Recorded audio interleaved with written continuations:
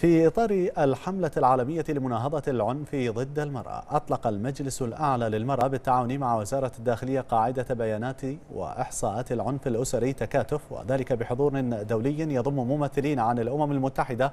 تتقدمهم سعادة السيدة فومزيلي ميلابو لاكولكا وكيلة الأمين العام للأمم المتحدة والمديرة التنفيذية لهيئة الأمم المتحدة للمرأة ومديرة إدارة الأسرة والطفولة بجامعة الدول العربية السيدة إيناس مكاوي. وقد أكدت سعادة الأستاذة هالة الأنصاري الأمين العام للمجلس الأعلى للمرأة أن مملكة البحرين مساهم أساسي في الجهود الدولية الرامية إلى مناهضة العنف ضد المرأة. مشيدة بما وصلت إليه العلاقات من تطور بين البحرين ممثلة في المجلس الأعلى وهيئة الأمم المتحدة للمرأة في كل ما يتعلق بقضاياها.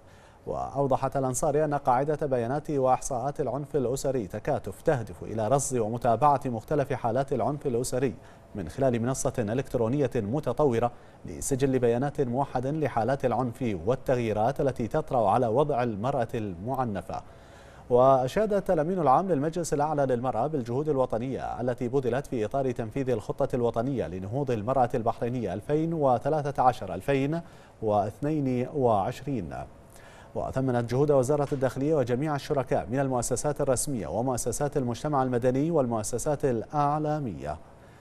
من جانبها نوهت وكيلة الأمين العام للأمم المتحدة والمديرة التنفيذية لهيئة الأمم المتحدة بجهود البحرين في مجال تحقيق المساواة بين الجنسين ورصد ومتابعة حالات العنف ضد المرأة. وأشادت بتعاون البحرين الفعال مع الأمم المتحدة في كل ما يتعلق بقضايا المرأة. وأشارت السيدة لاكوكا إلى أن جهود المجلس الأعلى للمرأة في إطلاق قاعدة بيانات موحدة لرصد حالات العنف ضد المرأة تأتي بالتزامن مع حملة دولية لمناهضة العنف. ضد المرأة بجميع أشكاله.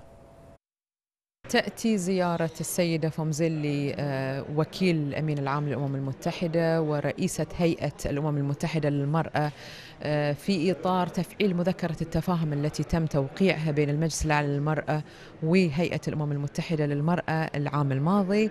آه، فكان أحد الاتفاقات بأن يتم فتح مكتب تمثيلي لليو إن ومن في مملكة البحرين في مقر أو في مبنى الأمم المتحدة وذلك لمتابعة بنود هذه المذكرة. طبعا المذكرة طموحة جدا وتتناول جوانب عديدة منها آه، تبادل الخبرة تبادل الخبرة بين مملكة البحرين والأمم المتحدة فيما يتعلق بجوانب تقدم المرأة وإلى أي حد قدرت مملكة البحرين أنها تنجح في الإيفاء بالتزاماتها تحت مظلة آه، منهاج عمل بيجين أو اتفاقية السيدا أو غيرها من الخطط العديدة التي تصدرها الأمم المتحدة. وتنجح مملكة البحرين على الدوام في الإيفاء بهذه الالتزامات.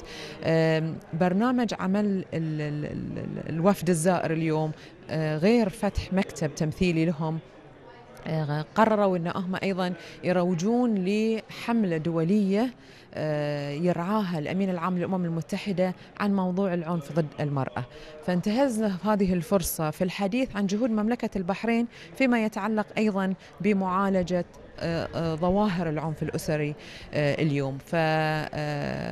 فتكلمنا عن الاستراتيجية الوطنية لمكافحة العنف الأسري تكلمنا عن قانون العنف الأسري تكلمنا عن قانون الأسرة الذي صدر مؤخرا وأيضا تناولنا العديد من المؤشرات التي تهم المجتمع الدولي والذي نثبت من خلالها مدى تقدم مملكة البحرين في معالجة آه، موضوع العنف الأسري. شكل إطلاق آه، خطوة تكاتف وفتح UN Women في البحرين هو خطوة تساهم في الحفاظ وحماية وتعزيز حقوق الإنسان. ولا شك أن الدور البارز الذي يقوم به مجلس الأعلى للمرأة برئاسة صاحبة السمو الملكي الأميرة سبيكة بنت إبراهيم آل خليفة قرينة آه، سيدي جلالة الملك.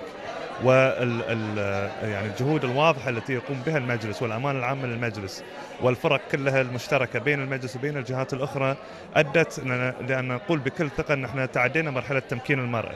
وأن مسألة يعني حماية المرأة من العنف الأسري هي من الأولويات وأن إطلاق مثل هذا البرنامج تكاتف بالتعاون مع وزارة الداخلية هي من الخطوات التي نشيد بها جميعا.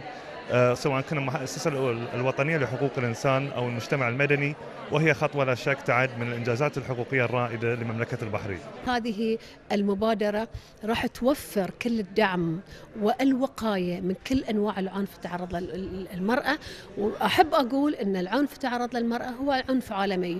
ولكن ونحن في هذه البلد التي فيها الرخاء وفيها التواصل الاجتماعي الجميل بما أن نحن في بلد في جزيرة وعادة يكون السلوك العام للجزيرة هو التسامح وهو الأسلوب الجميل في التعامل أكيد راح نستفيد منها بشكل أساسي عملية رصد المعلومات راح توجه العاملين على تقديم هذه الخدمات على دراسة الاحتياجات وتوجيه الخدمات للأشخاص التي فعلا يحتاجونها وباعتقادي كل نساء البحرين فخورين فيها.